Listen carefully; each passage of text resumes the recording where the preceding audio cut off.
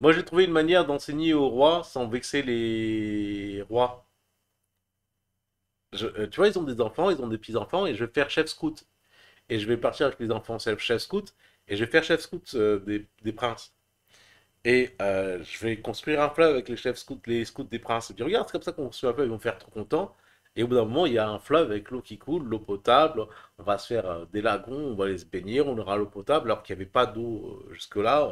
Les pluies vont abonder, les champs vont commencer à se multiplier. On va dire, ouais, on est trop content, on a construit un fleuve avec euh, euh, chef scout.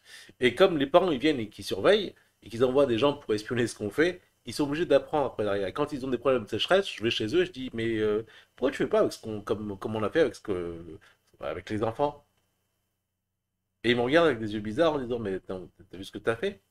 Non, non, parce que c'est à la portée d'un enfant, donc si les enfants ils y arrivent, euh, à la limite, si tu sais pas, demande aux enfants, parce qu'eux ils savent.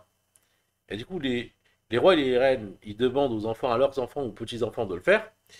Les petits-enfants et les enfants le font, et les rois et les reines, ils rappellent-moi comment t'as fait là?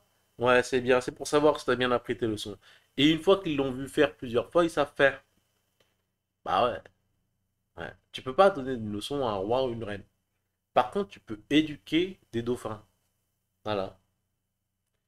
Et puis quand t'es que prince, quand tu dis au roi et à la reine, euh, tu, tu, tu crois pas qu'il faudrait faire les trucs qu'on ne faisait avec les enfants, eh bien ils le prennent pas mal. Tu ils n'entendent pas un autre roi qui leur parle. Ils entendent un prince encore enfantin qui leur dit des choses où ils se disent bah, ça aurait été bien. Ça aurait été bien si on avait fait comme on l'a fait avec les enfants, comme j'ai pu faire avec les enfants. Mais ils savent, mais tu pourras leur demander maintenant.